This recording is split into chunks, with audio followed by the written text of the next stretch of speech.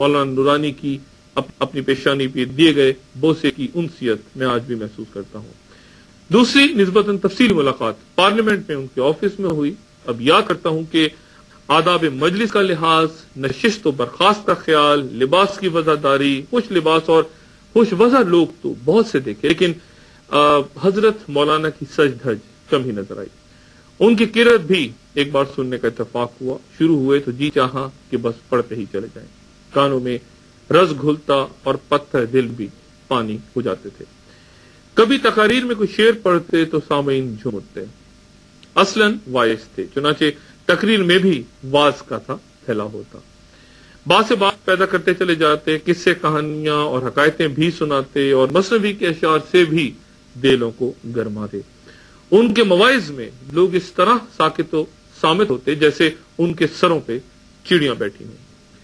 سننا ہے، مولانا کے قلب و ذہن پہ آخری دنوں میں شدید دباؤ تھا اور وہ ملنے والوں سے کہا کرتے تھے کہ میں تھک گیا ہوں۔ اسلام آباد کی زہرناک ہوائیں، ماحول کی اذیت ناک گھٹن، مکر فریب کے جال، بند ہوتے رستے، قومی آزادی اور خود مختاری کا مارکیٹ میں ہر روز گرتا ہوا بھاؤ۔ ارد گرد آئین، قانون، ضابطوں قائدوں انصاف کے ٹوٹتے، بکھرتے کھلونوں کی چیخیں۔ ہر لمحے حساس دل میں چبھنے والی کرچیاں۔ شاید سوچنے پہ جو تاپ کھانے کوڑنے بے کل رہنے، بے خوابی، گھٹن، دل سوزی کے شکار مولانا نورانی بلا شبہ تھک گئے تھے۔ ایک خوشپوش فقیر مدینے کی گلیاں، جس کی روح میں موتیے کی طرح مہکا کرتی تھیں۔ پھر شاید اسی کے اندر سے کسی نے فیصلہ سنا دیا کہ انشاء جی اٹھو اب کوچ کرو۔ مولانا کو پان سے خاص رغبت تھی بطور خاص عمدہ اور خوشبودار پان تیار کرواتے اور کبھی کبھار ذرا مزاح کہتے کہ حضرت آدم علیہ السلام کو جنت میں جس درخت کے قریب جانے سے روکا گیا تھا، وہ ضرور پان کا درخت تھا۔ بقول محشر بدایونی کے، جن کی یادوں سے رگے جا میں دکھن ہونے لگے۔ ذکر چھڑ جائے تو پتھر کا بھی دل رونے لگے۔ انہوں نے کتنے برس نواز تراوی پڑھائی، کتنے ممالک میں، کتنے ہزار گمراہوں کو سرات مستقیم دکھائی، کتنی مساجد تعمیر کی، کتنے حج عمرے کیے۔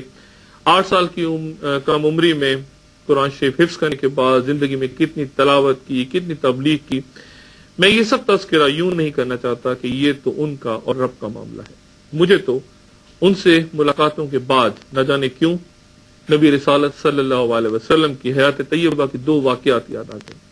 ایک صحابی رضی اللہ تعالیٰ نے فرمایا کہ جب بھی ہم رسول اللہ صلی اللہ علیہ وسلم کی محفل میں بیٹھتے، ہم میں سے ہر شخص کو محسوس ہوتا جیسے رسول اللہ کی تمام تر توجہ ہم پہ ہی مرکوز ہے اور وہ اس ہجوم میں صرف اور صرف مجھے ہی چاہتے ہیں۔ دوسرے صحابی رضی اللہ تعالیٰ نے فرمایا کہ جب جنگ کی شدت بڑھ جاتی، تلوار چلاتے چلاتے ہمارے بازو شل ہو جاتے، دھوپ سوئیاں بن کے ہماری کھال میں اترنے لگتی، اور موت کا خوف ہماری روحوں کو چھو کر گزرنے لگتا۔ تو ہم فوراً نبی اکرم صلی اللہ علیہ وسلم کے سائے اقدس میں پناہ لے لیتے۔ ان کے پاس کھڑے ہو جاتے، وہ ہمیں مسکرا کے دیکھتے، اور پھر سارے خوف ختم ہو جاتے، ساری تھکن دور ہو جاتی، سارے حوصلے پلٹ کے واپس آ جاتے، ہم نعرہ تکبیر بلند کر کے پھر رزم گاہ میں کود پڑتے۔ میں نے دیکھا کہ علامہ شاہ مندورانی سے ملنے والا ہر شخص یہی دعویٰ کرتا کہ وہ صرف مجھے چاہتے ہیں، مجھے صرف مجھ پر ہی توجہ دیتے ہیں۔ ان کے کچھ عقیدت مند تو یہ بھی کہتے کہ جب ہم روزگار کی تلوار چلا چلا کر تھک جاتے ہیں، اختیار کی چکی پیس پیس کے ریزا ریزا ہو جاتے ہیں مگر فریب کے سیرا میں چل چل کر جاں بلب ہو جاتے ہیں، تو نورانی میاں کے سائے میں آ کر یوں پناہ لے لیتے ہیں کہ سچے عاشقان رسول کے سائے بھی بڑے ٹھنڈے ہوا کرتے ہیں۔ ان سب کو یقین ہے کہ حضرت کی مجلس میں بیٹھنے والا کوئی شخص گمراہ نہیں ہو سکتا تھا۔ حالات کے سمندر میں ڈوب نہیں سکتا تھا۔ برائی کے صحرا میں بھٹک نہیں سکتا تھا۔ ایک بڑی مذہبی سیاسی جماعت کا سربراہ۔ پارلیمنٹ میں کئی بار پہنچنے والا انسان ساری زندگی کرائے کے فلیٹ میں گزار کر کچھ ہی عرصہ پہلے اپنے نئے گھر میں منتقل ہوا۔ تو وضاحت کرتا پھرتا کہ ان کے سسر ڈاکٹر فضل الرحمان جو ضیاء الدین مدنی کے فرزند تھے، ان کا انتقال ہوا تو جائیداد کا کچھ حصہ حضرت کی اہلیہ کے حصے میں آ گیا اور یہ مکان وہیں چلا۔ میں نے علامہ کے جنازے میں ہزاروں، لاکھوں انسانوں کو ڈھارے مار مار کے روتے دیکھا تو خود سے سوال کیا کہ یہ سب کیوں روتے ہیں؟ اس شخص میں آخر کیا خوبی تھی؟ کیا یہ سب کچھ اس کے بولنے، واز کرنے کو یاد کر کے روتے ہیں؟ کیا وہ ان سب کو ملازمتیں، پلاٹ پرمٹ دلا گیا ہے؟ کیا وہ اپنے رفقا کی وزارتوں، مشارتوں کے لیے داؤ پیش لڑاتا رہا؟ یا دن میں حکومت کے خلاف بیان دے کے رات کے اندھیروں میں اپنی فائلوں پہ سائن کروا کے ان لوگوں میں بانٹتا رہا؟ شاہ دورانی کیا ان سب کو تعویز بنا کے دیا کرتے تھے؟ ان پہ پھونکے مارتے تھے؟ دوسری مساجد پہ پتھراؤ کی تلقین یا کفر کے بے حساب فتوے جاری کیا کرتے تھے؟ آج کے دور کا ایک روایتی سیاستدان یا مولوی کیا کرتا ہے؟ اور حضرت بھی تو اسی قبیلے سے تھے۔ پھر یہ ہزاروں کا اس دہام روتا کیوں ہے؟ اور ایسا کیوں لگتا ہے کہ ان کے ساتھ زمین اور آسمان بھی روتے ہیں؟ میں سوچتا رہا، جب آپ تراشتا اور تعویل پہ تعویل کھڑی کرتا، چلا گیا لیکن اپنے سوال کے مرتبے کا جواب مجھے نہیں ملا۔ میں نے مولانا کی ایک کتاب اور ایک آڈیو کیسٹ نکالی جو مجھے برادر رفیق نورانی صاحب ایک بار دے گئے تھے اور مولانا کے ساتھ اپنی ملاقاتیں یاد کی تو جیسے تمام سوالات کے جواب روشنی کے کوندے کی طرح لپک کر سامنے آ گئے۔ علامہ میں کیا خوبی تھی؟ اس کے بعد بھی کسی کی خوبی کی گنجائش رہتی ہے کہ کسی کے پاس بیٹھ کر چھوٹے سے چھوٹا شخص اس کو بھی احساس نہ ہو کہ وہ چھوٹا ہے۔ اس کی حیثیت، جسے اللہ کی مسکراہٹ کی کرامت نصیب ہو، اس سے بڑا ولی کون ہوگا؟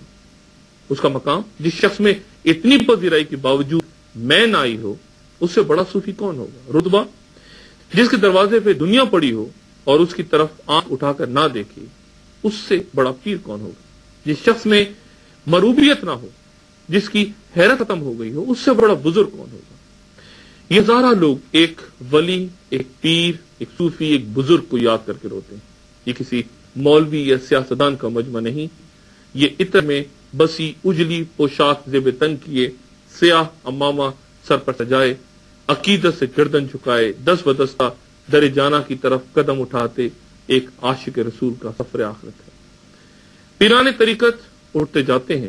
روز بروز اقبال کے ان اشار کی صداقت بڑھتی نظر آتی ہے کہ رمز قرآن اس زمانے کے لیے موضوع نہیں اور آتا بھی نہیں، مجھ کو سخن سازی کا فن۔ تم بزن اللہ کہہ سکتے تھے، وہ رخصت ہوئے۔ خان کاہوں میں مجاور رہ گئے یا غور کر۔ علامہ نورانی کے جانے کے بعد کراچی کی محفلیں، پورے ملک کی محفلیں، سیاسی، مذہبی، ویران سی لگتی ہیں۔ ویران ہے میں کدا غم و ساغر اداس ہیں۔ تم کیا گئے کہ روٹ گئے دن بہار کے؟ میں علامہ کے دونوں بیٹوں سے نہیں، ان کے لاکھوں بیٹوں سے، ان کے باپ کے چلے جانے پہ تعزیت کرتا ہوں۔ اللہ تعالیٰ علامہ شاہ نورانی صاحب کی